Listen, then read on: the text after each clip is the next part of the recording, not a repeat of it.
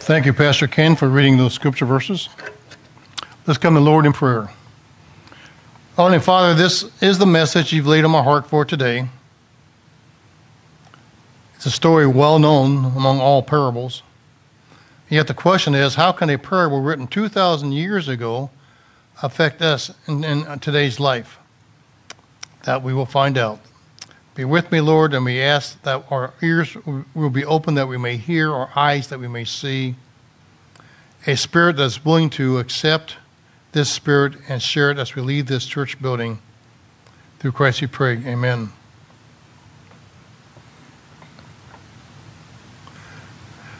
The parable of the prodigal son is probably the most familiar and beloved of all the parables that Jesus spoke. When you would ask people, what is your favorite parable or which one do you remember? The prodigal, the, uh, um, the prodigal son would be um, it. It is one of the longest and most detailed parables, and unlike most parables, it has more than one lesson. The Greek word for prodigal means dissolute and conveys the idea of utter an utterly debauched lifestyle. But the prodigal son is also an example of sound repentance of turning his life around. The elder brother illustrates the wickedness of the Pharisees, self righteousness, prejudice, and indifference toward repenting sinners. And at the end of the story, when the younger son came back, the older son was livid. He was not a happy camper, and thus he represents the Pharisees. And the father of this story pictures God and his grace. The father was eager to forgive and longing for the return of his son. It is interesting that all three parables in this chapter, no, three in chapter 15, are known by their negative rather than their positive features. We've got the lost sheep, not the found sheep. We've got the lost coin, but not the found corn and the prodigal son, but not the loving father. The theme of being lost is consistent with the two former parables. And I find it interesting that the fact that all three of these parables start in a negative form, a negative instance, but they all end up with joy, with joy, celebrations of joy. The found sheep, the found coin, and the found son. The parable of the prodigal son is a parable of love, forgiveness, and joy. It's interesting to note that twice in this parable, verse uh, 24 and verse 32, it said that the younger son was dead and is alive, and was lost and is, and is found. And maybe as I go through today's message, we can say, How are we like the younger son? How are we like the younger son? And how is a father like God our Father? So today's title is When the Grass Isn't Always Greener. You've heard this term, the grass is always greener on the other side of the fence. Well, not necessarily. That's true. Uh, I looked on the uh, Google and there's all kinds of neat stuff like uh, the reason the grass is greener on the other side of the fence is because it's artificial turf. Uh, but the point is, when we look on the other side of the fence and it's always green or greener, it's because we're looking through our eyes, not necessarily through the eyes of God. So when we find that the grass isn't always greener on the other side, does it mean that we have failed? When we find out that the grass isn't always greener on the other side, does it mean we failed? But failures, failures can be a stepping stone to success. It depends on how we view our failures. This story is about a father full of grace and forgiveness. I mean, think about it. If your son came up to you and said, You know, I want my inheritance now, how many in this church body would say, Fine, you write out a check? I mean, I once made a joke to my dad and I said, Hey, well, just give me my money now. Watch me enjoy it. He smiled, but he wasn't impressed. But I was joking also. But you look at this father, and you look at how he responded. You look how he responded. Again, this story is about a father full of grace and forgiveness and a young man who failed. But this young man's failure wasn't the end of him. Instead, his failures set the stage for greater and better things to come in his life. So sometimes when we have negative experiences, is to get us to where God wants us to be. You look at you look at Job, for instance, or um, what he went through. He went through a lot of negative stuff, but in the end, he was okay. You look at Jonah. Jonah rebelled, and look where he ended up. A lot of people say the big fi- uh, the whale, but the Bible doesn't say the whale, a big fish. But again, Jonah had to go through his trials and tribulations to get to where God wanted him, which was Nineveh. So we know this young man as a prodigal son or the lost son. And it shows up he shows us how we can find the greener grass. Although he went a long way around to get to the greener grass. So the question is what did his son want? What did the younger son want from his father? He wanted freedom. To be entirely free and to be his own master. He wanted his freedom, so he made a selfish request to his father. In verse 12, he says, Give me the share of the estate that falls to me. He's asking for his inheritance now. Another way to say this is he's wishing that his father was dead because normally your father would pass before you got your inheritance. So by, by him asking, say, I want my inheritance now, what the younger son was saying, basically, Dad, I wish you was really dead so I could spend your money. That is a shocking request. Because he was not entitled to any of the, his inheritance while he was still alive.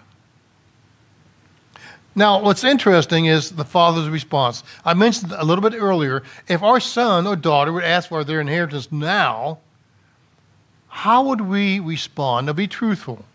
Would you all right, come out and write a checkbook saying, hey, I understand, peace? I don't think so. So, how did his father respond? The father graciously fulfilled the request, giving him his full portion,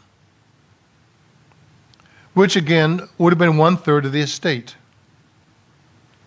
The father didn't lecture his son. Did you read any place in this prayer where the father said, Now, this is not one of your brightest ideas, son.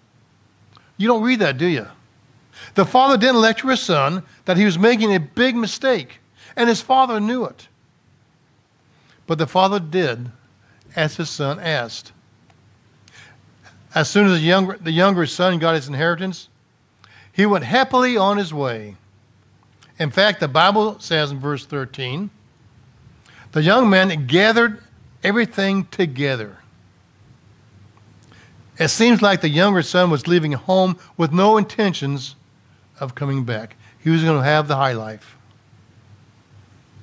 In verse 13, we read the younger son wanted to go to a distant country.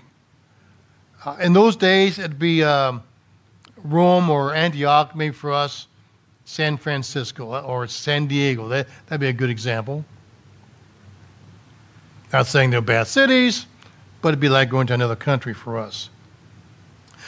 Now, this is an image of the sinner's deep apostasy from God. This pictures a sinner apart from God. In other words, God, I want it my way. It's what I call the Burger King Christian. Because when you see the Burger King advertisements, what do they say? You can have it your way. And that's what this son was saying. He said, Dad, I want it my way. I want it my way. the younger son wanted to start a new life, to be on his own, to do his own thing. That attitude describes many people in today's society. They can't wait to get away from the rules and regulations of life. They want to live on their own and do their own thing, and sometimes our children like that. They think, once I get on my own, life is going to be a piece of cake. And then eventually reality hits them in a, uh, hits them and slaps them in the face. They say, I can do what I want. No one's going to tell me what to do. I can get up when I want and I go to bed when I want. If I don't want to get up and go to church, then I don't have to. I'm the master of my destiny. Many people follow this man's path, rejecting God, rejecting the Bible, and rejecting the church. In verse 13, we read that the younger, the younger son indeed go to a distant land. And when he got there, what did he do? He wasted his estate in loose living. Now, we can imagine the kind of life he was living, even in those days. But it would not be the way the brethren folks would be living. Now, let's, let's put it that way. I think we might be living it differently. Have you ever thought about sin is fun? Sin is fun. That's why we do it. That's why we do it. If sin wasn't fun, we probably wouldn't do it. That's why sin comes so natural for some. But sin, but sin carries severe consequences, as this young man was about to find out. He's about to find out his rebellion from his father was going to cost him. And in Luke 14 25, it talks about counting the cost. This mm-hmm. son did not count the cost. He did not count the cost. So let's start off. Well, as I mentioned, fun is only temporary. The party doesn't last. What was fun now leads to pain, suffering, and ultimately his death in a way. What does Paul say in Romans 3 23? For the wages of sin is death. So, regardless of our decisions in life, our party will end. So, let's talk about his failure. Start off with his failure. The younger son misused his freedom and spent all his inheritance. And then something unexpected happened. The Bible says in verse 14 a severe famine occurred in a land and he became poor. He became poor. You see, this young man went from the penthouse to the outhouse. And there's a lesson for us to, uh, for us to learn here. As we go through life, expect the unexpected. Expect the unexpected. God has a plan and purpose for our life. Did you realize that? God has a plan and purpose for our lives.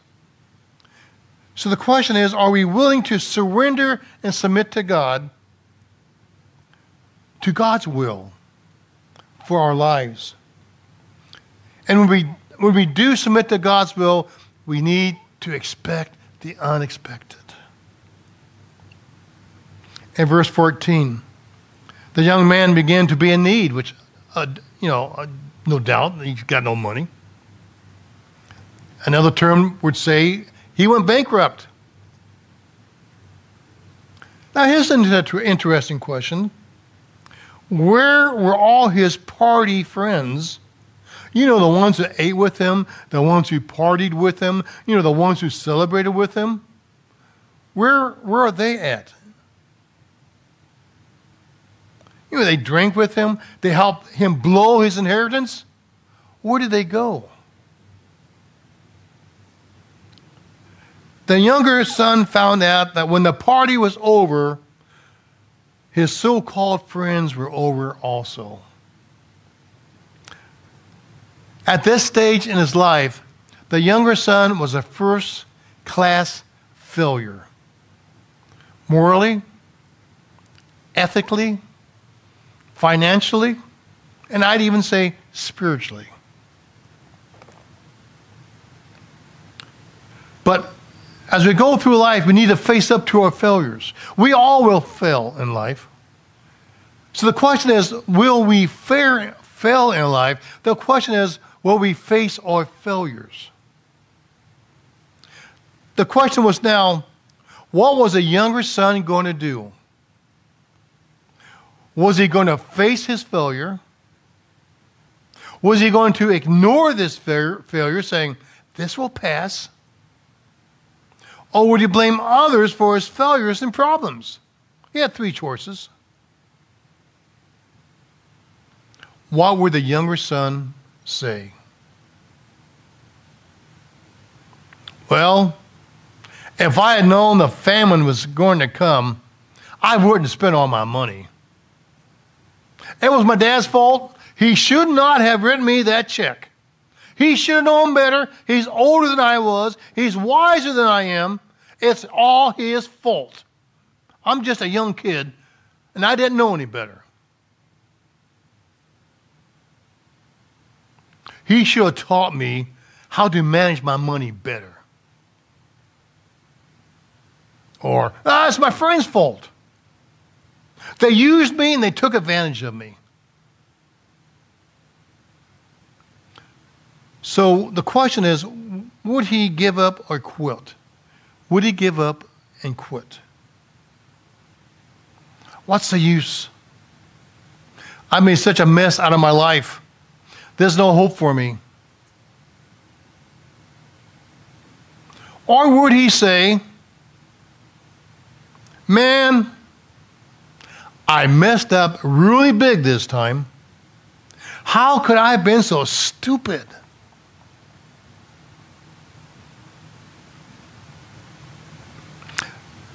This is my fault. This is all my fault. And I'm going to get help. But, there's always a but in life. He still wanted to be the master of his own destiny. He still wanted to be what I call the big cheese. He still has some pride and arrogance. So the failures continued in his life.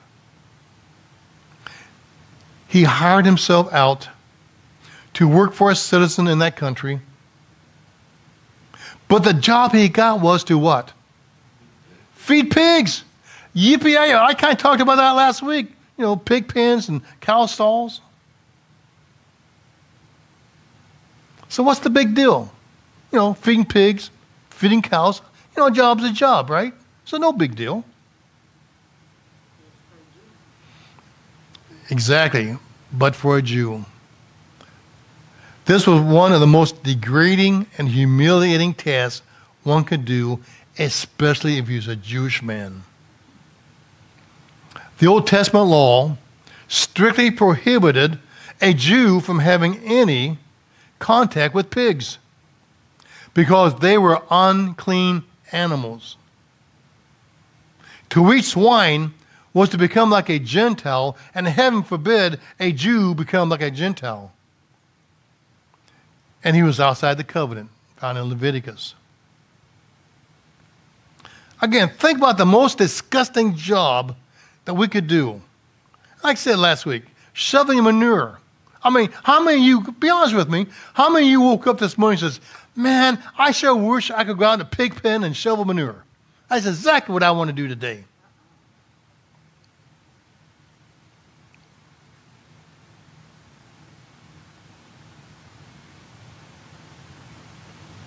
We can see the desperation on this young man's face he would have gladly filled his stomach with pods that the swine were eating. He was at a stage that he's willing to eat the same food that he was feeding the pigs. Now, the pods referred to in verse 16 were long pods of the carob tree, eaten by animals and at times by the extremely poor people. So, what this younger son has just done, he has labeled himself as the poorest of the poor.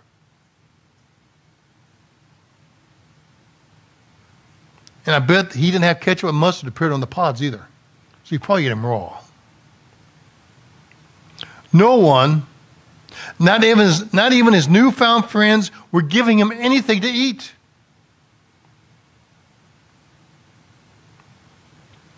Now comes the most important part of this story. As you read the prodigal son, this is the most important part of the story. Because again, the prodigal son, the father represents God, and we represent, we represent the younger sons, the younger son. When he came to his senses, that's what you call, in today's term, he had a light bulb moment, you know, or a bell like ding, ding, ding, ding, ding, ding, ding. Or the light, you know, the light bulb above the head, the light bulb goes up, goes on. He came to his senses. And when the young man came to his senses, the mind drifted back to the thoughts of home, his father, and most importantly, his father's love. It was then, we might say, the Beatitudes kicked in. Have you ever read this before and associated the Beatitudes with a younger son? Now, to be honest with you, I didn't. I read a commentary, I go, wow, I had a ding, ding, ding moment. Listen to uh, Matthew 5, 30, uh, 3 and 6, uh, the Beatitudes. Blessed are the poor in spirit, for theirs is the kingdom of heaven. Blessed are they who mourn, for they will be comforted. Blessed are the meek, for they, they will inherit the earth. And blessed are those who hunger and thirst for righteousness, for they will be filled. You see, the son didn't know at that moment when he came to his senses the Beatitudes was going to kick in. The son said, What am I doing here? I'm a fool. My father's servants have plenty to eat, and I'm starving to death. You know, I'm eating pods that pigs eat. Then a young son made the most important decision in his life. And that's like us when we stray from the church, when we stray, stray, stray from our faith, he decided to return to his father. The young man said, I will get up and go to my father. Now, that is symbolizes our Heavenly Father, which is what it's telling us. I will go back to my father, and I will say to him, Father, I have sinned against heaven, and in this case, God, and in your sight. I'm no longer worthy to be called your son. Make me as one of your hired men. Now, so he got up and came to his father. Now, make me, it's interesting, make me, this petition indicates a complete change in attitude. When he left home, he said, Give me, give, give, give, give, give, give me. He left with a selfish demand returned home with a humble prayer Make me. The Son shows us how to view and how to respond to our failures. And we're all going to have failures. It's going to happen. He took responsibility for his actions. He admitted to his, to his sin and failure to his father. He put away his pride and arrogance and he was willing to accept the consequences for his actions. Forgiveness. As a son headed for home, what was his father doing? Have you ever noticed this? I'm sure you've read the prodigal son uh, various times. As a son was heading back home, what was his father doing? The Bible says in verse 20, the father was looking for his son. And when we stray from the church and when we stray from our, our faith, our Father is always looking for us. Is always looking for us. While the son was still far away, the father saw him and ran to him. Now, I'm going to give you this, this bit of information. I'm not going to charge you. This is a freebie. Did you realize that it was not cool for an old man to run? That was degrading. That was humiliating. They just didn't do that. But yet his father ran to his son because his son's love was more important than what people thought. The father hugged his son, and the son confessed to his father. And the father responded with grace and love and forgiveness. And when we have our children go astray and they come home, we need to respond the same way. We need to respond in love and compassion.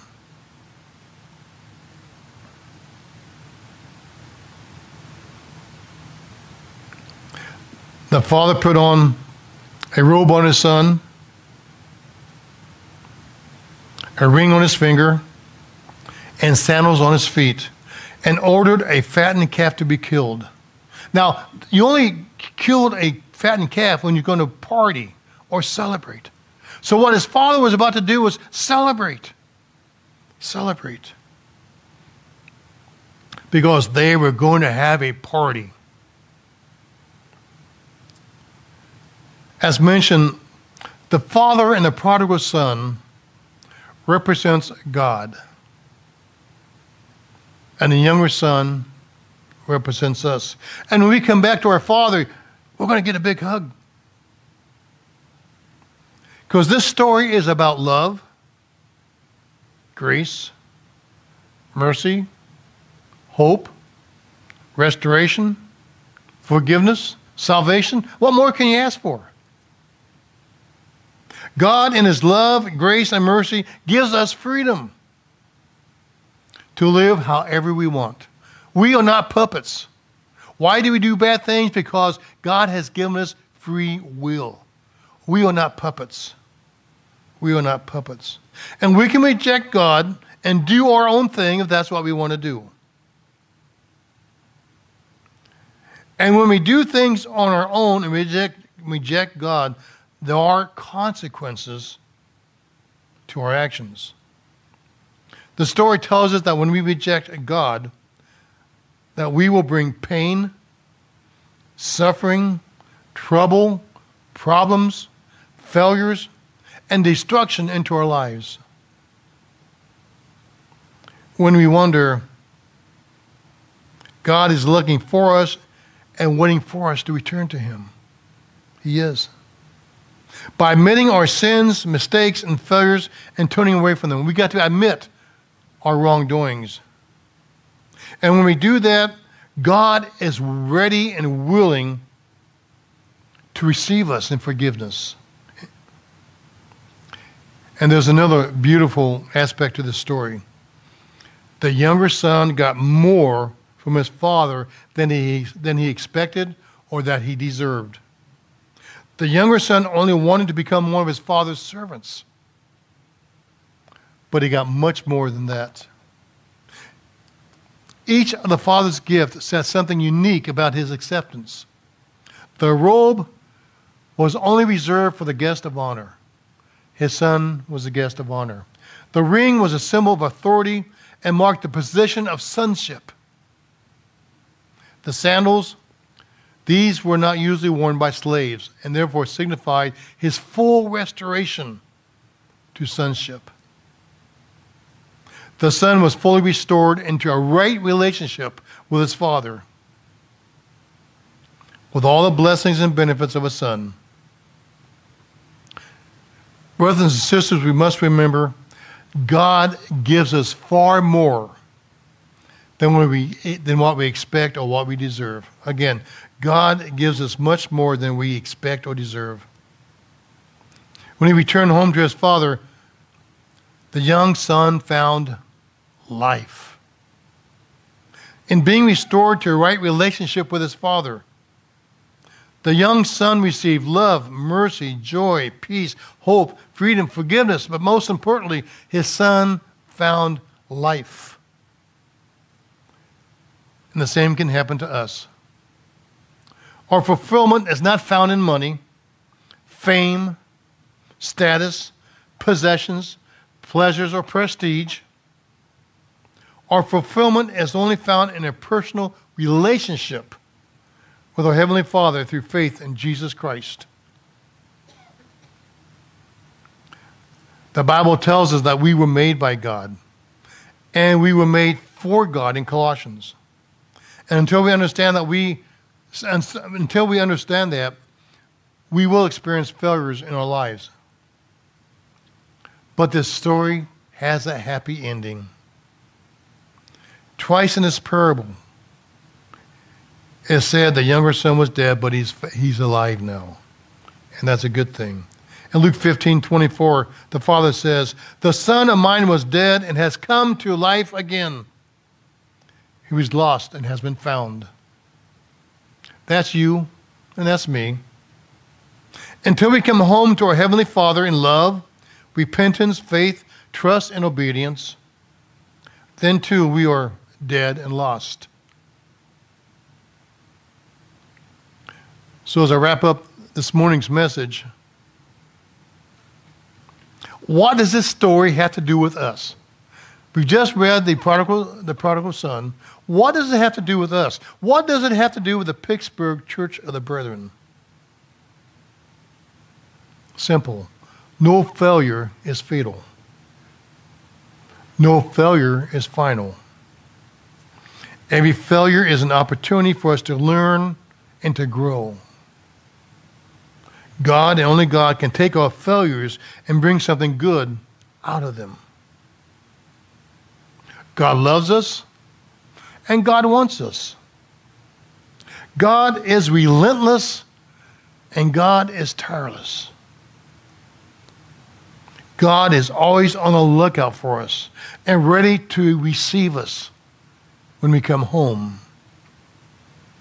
Ready to forgive, ready to heal, restore, and bless, and to use us in his ministry.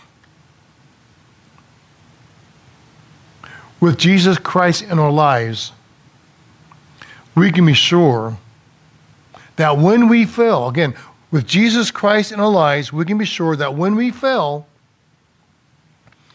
we will always find the greener grass. Amen.